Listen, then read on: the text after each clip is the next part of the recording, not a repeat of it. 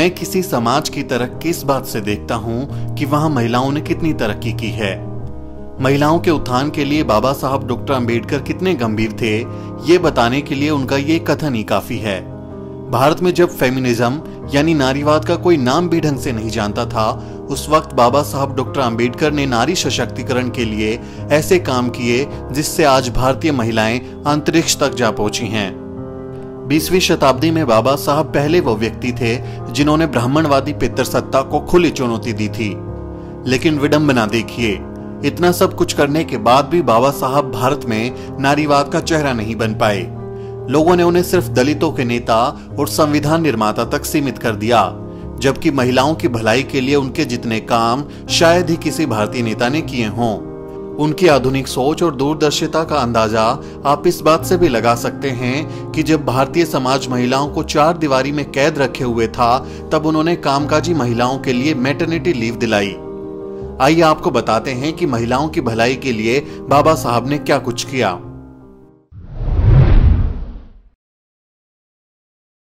बाबा साहब ने शिक्षा के दम पर अपने असंख्य बच्चों का भविष्य संवारा था, इसलिए बाबा साहब शिक्षा के महत्व को बखूबी जानते थे। पुरुषों की शिक्षा के साथ साथ वो महिलाओं की शिक्षा को भी बहुत ज़रूरी मानते थे। जेएनयू में असिस्टेंट प्रोफेसर डॉक्टर प्रवेश कुमार के मुताबिक 1913 में न्यूयॉर्क में एक भाषण देते हुए उन्होंने कहा था माँ बाप बच्चों को जन्म देते हैं, कर्म नहीं देते। माँ बच्चों के जीवन को उचित मोड़ दे सकती है। यह बात अपने मन पर अंकित कर यदि हम लोग अपने लड़कों के साथ साथ अपनी लड़कियों को भी शिक्षित करें तो हमारे समाज की उन्नति और तेज होगी। बाबा साहब का ये कथन पूरी तरह सच साबित हुआ। आज भारत की लड़कियाँ शिक्षित होकर हवाई जहाज़ तक उड़ा रही हैं। बाबा साहब ने न्यूयॉर्क में पढ़ाई के दौरान अपने पिता के करीबी दोस्त को पत्र में लिखा था।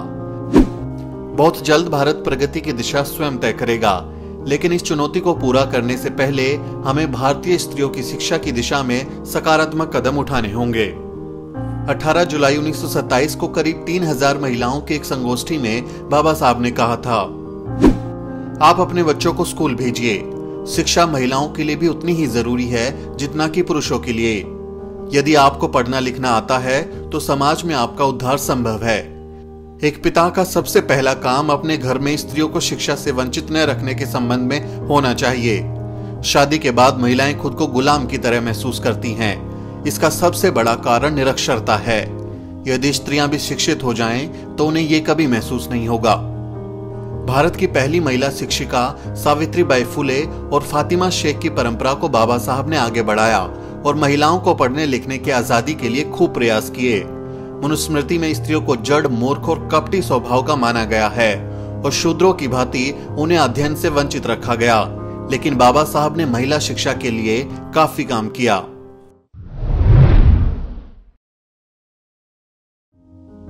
आज कामकाजी महिलाएँ 26 हफ्तों की मैटरनिटी लीव ले सकती हैं, जिसकी शुरुआत बाबा साहब डॉक्टर अंबेडकर ने ही की थी। 10 नवंबर 1938 को बाबा साहब डॉक्टर अंबेडकर ने बॉम्बे लेजिस्लेटिव असेंबली में महिलाओं की समस्या से जुड़े मुद्दों को जोरदार तरीके से उठाया था। इस दौरान उन्होंने प्रसव के दौरान महिलाओं के स्वास्थ्य से जुड़ी चिंताओं पर अपने विचार रखे। क्या आप जानते हैं कि 1942 में सबसे पहले maternity benefit bill doctor Ambedkar द्वारा ही लाया गया था? इसके बाद 1948 के एम्प्लॉयड स्टेट इंश्योरेंस एक्ट के ज़रिए भी महिलाओं को मातृत्व अवकाश की व्यवस्था की गई। बाबा साहब ने यह काम उस वक्त कर दिया था जब उस जमाने के सबसे ताकतवर मुल्क भी इस मामले में बहुत पीछे थे।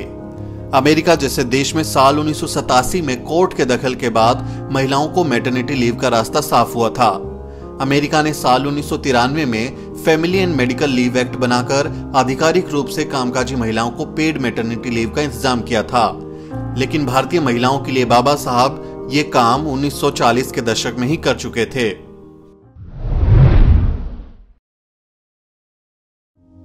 बाबा साहब ने भारतीय नारी को पुरुषों के मुकाबले बराबरी के अधिकार दिए हैं। भारतीय समाज में लैंगिक असमानता को खत्म करने के लिए उन्होंने बाकायदा संविधान में लिंग के आधार पर भेदभाव करने की मनाही का इंतज़ाम किया। आर्टिकल 14 से आर्टिकल 16 में महिलाओं को समाज में समान अधिकार देने का प्रस्ताव किया गया है। बाबा साहब ने संविधान में लिखा कि किसी भी महिला को सिर्फ़ महिला होने की वजह से किसी अवसर से वंचित नहीं रखा जाएगा और ना ही उसके साथ लिंग के आधार पर कोई भेदभाव किया जा सकता है। भारतीय संविधान के निर्माण के वक्त भी बाबा साहब ने महिलाओं के कल्याण से जुड़े कई प्रस्ताव रखे थे। इसके अलावा महिलाओं की खरीद फरोख्त और शोषण के विरुद्ध भी बाबा साहब ने कानूनी प्रावधान किए। साथ ही बाबा साहब ने संविधान में महिलाओं और बच्चों के लिए राज्यों को विशेष कदम उठाने की इजाज़त भी दी।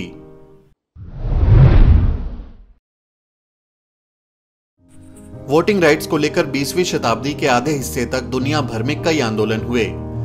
नारीवाद की पहली और दूसरी लहर में महिलाओं के लिए वोटिंग राइट्स की ज़बरदस्त मांग उठी।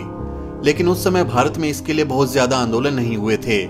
जब बाबा साहब को संविधान लिखने का मौका मिला तो उन्होंने महिलाओं को भी समान मताधिकार दिया। आज 18 साल की उम्र होने पर महिलाएँ वोट डालने का हक रखती हैं, क्योंकि बाबा साहब ने महिलाओं को मताधिकार दिलाया था। अरस्तु से लेकर मनु तक ने महिलाओं को दोयम दर्जे का नागरिक माना।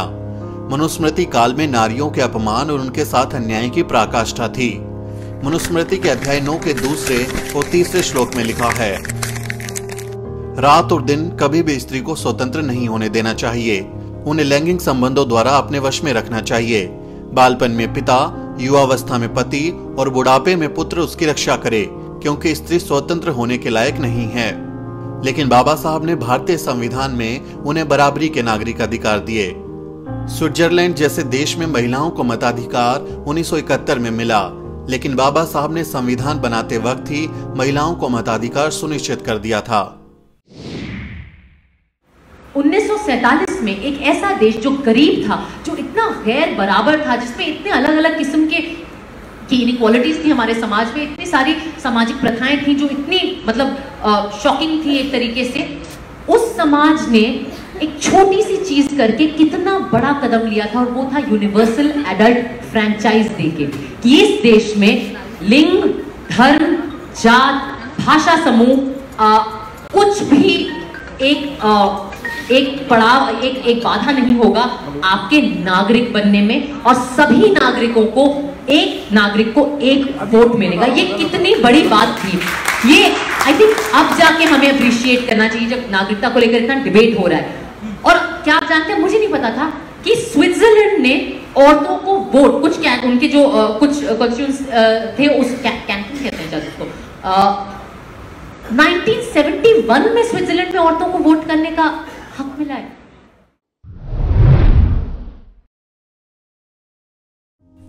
बाबा साहब ने संविधान के ज़रिए महिलाओं को वे अधिकार दिए जो मनुस्मृति ने नकारे थे।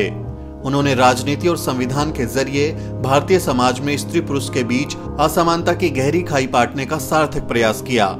जाति, लिंग और धर्म निरपेक्ष संविधान में उन्होंने सामाजिक न्याय की कल्पना की है।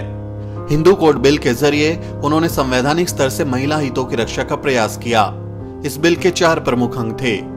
पहला, हिंदुओं में बहुविवाह प्रथा को समाप्त करके केवल एक विवाह का प्रावधान जो विधि सम्मत हो। दूसरा महिलाओं को संपत्ति में अधिकार देना और बच्चे गोद लेने का अधिकार देना। तीसरा, पुरुषों के समान नारियों को भी तलाक का अधिकार देना। हिंदू समाज में पहले पुरुष ही तलाक दे सकते थे। चौथा, आधुनिक और प्रगतिशील विचारधारा के अनुरूप समाज को एकीकृत करके उसे मज़बूत करना। डॉक्टर अंबेडकर का मानना था, सही मायने में प्रजातंत्र तब आएगा जब महिलाओं को पिता की संपत्ति में बराबरी का हिस्सा मिलेगा। उन्हें पुरुषों के समान अधिकार मिलेंगे। महिलाओं की उन्नति तभी होगी जब उन्हें परिवार समाज में बराबरी का दर्जा मिलेगा। शिक्षा और आर्थिक तरक्की उनकी इस काम में मदद करेगी। लेकिन राजेंद्र प्रसाद जैसे महिला विरोधी हिंदुओं की वजह से हिंदू कोड बिल पास न हो सका। आखिरकार 7 सितंबर उन्नीस सौ इक्यावन को बाबा साहब ने मंत्री पद से इस्तीफा दे दिया। बाद में उन्नीस सौ में हिंदू कोड बिल के प्रावधानों को हिंदू विवाह अधिनियम हिंदू तलाक अधिनियम हिंदू उत्तराधिकार अधिनियम हिंदू दत्तक ग्रहण अधिनियम के रूप में अलग अलग पास किया गया। महिलाओं को पिता और पति की संपत्ति में हिस्सेदारी देना, तलाक का अधिकार और बच्चे गोद लेने का अधिकार भी बाबा साहब ने ही दिलाया। उस समय के हिंदू समाज में ऐसी मान्यता थी कि अगर महिला अपने घर से डोली पर निकलती है तो वापस उसके अर्थी उठती है। और विवाहित स्त्रियों को अपने पिता के घर वापस आना पाप माना जाता था। लेकिन बाबा साहब ने महिलाओं के लिए क्रांति की शुरुआत कर दी थी।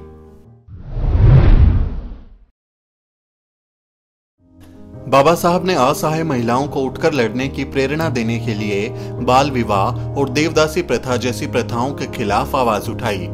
1928 में मुंबई में एक महिला कल्याणकारी संस्था की स्थापना की गई थी, जिसके अध्यक्ष बाबा साहब की पत्नी रमाबाई थी। 20 जनवरी 1942 को डॉक्टर भीमराव अंबेडकर की अध्यक्षता में अखिल भारतीय दलित महिला सम्मेलन का आयोजन किया गया था, जिसमें करीब पच्चीस हज़ार महिलाओं ने हिस्सा लिया था।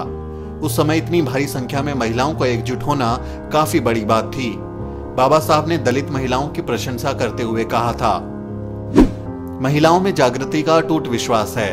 सामाजिक कुरुतियाँ नष्ट करने में महिलाओं का बड़ा योगदान हो सकता है। मैं अपने अनुभव से ये बता रहा हूँ कि जब मैंने दलित समाज का काम अपने हाथों में लिया था, तभी मैंने ये निश्चय किया था कि पुरुषों के साथ महिलाओं को भी आगे ले जाना चाहिए। महिला समाज ने जितनी मात्रा में प्रगति की है, इसे मैं दलित समाज की प्रगति में गिनती करता हूँ। 25 दिसंबर 1927 को बाबा साहब ने मनुस्मृति को सिर्फ़ इसलिए नहीं जलाया था कि इसमें शूद्रों के बारे में बहुत बुरी बातें लिखी थी। बल्कि उन्होंने इस घृणित किताब को इसलिए भी आग के हवाले किया था क्योंकि उसमें महिलाओं को भी गुलाम बनाने के तरीके लिखे थे। भारतीय संदर्भ में देखा जाए तो अंबेडकर संभवतः पहले अध्येता रहे हैं जिन्होंने भारतीय संरचना में महिलाओं की स्थिति को जेंडर की दृष्टि से समझने की कोशिश की। उनके संपूर्ण विचार मंथन के दृष्टिकोण में सबसे महत्वपूर्ण मंथन का हिस्सा महिला सशक्तिकरण था। भारतीय नारीवादी चिंतन और अंबेडकर के महिला चिंतन की वैचारिकी का केंद्र ब्राह्मणवादी पितर सत्तात्मक व्यवस्था और समाज में व्याप्त परंपरागत धार्मिक और सांस्कृतिक मान्यताएँ रही हैं, जो महिलाओं को पुरुषों के अधीन बनाए रखने में महत्वपूर्ण भूमिका अदा करती रही हैं। डॉक्टर अंबेडकर ने कहा था, मैं नहीं जानता कि इस दुनिया का क्या होगा जब बेटियों का जन्म नहीं होगा। महिला सरोकारों के प्रति डॉक्टर भीमराव अंबेडकर का समर्पण किसी जुनून से कम नहीं था। सामाजिक न्याय, सामाजिक पहचान, समान अवसर और संवैधानिक स्वतंत्रता के रूप में नारी सशक्तिकरण के लिए उनका योगदान पीढ़ी दर पीढ़ी याद किया जाएगा। ब्यूरो रिपोर्ट, द शूद्र।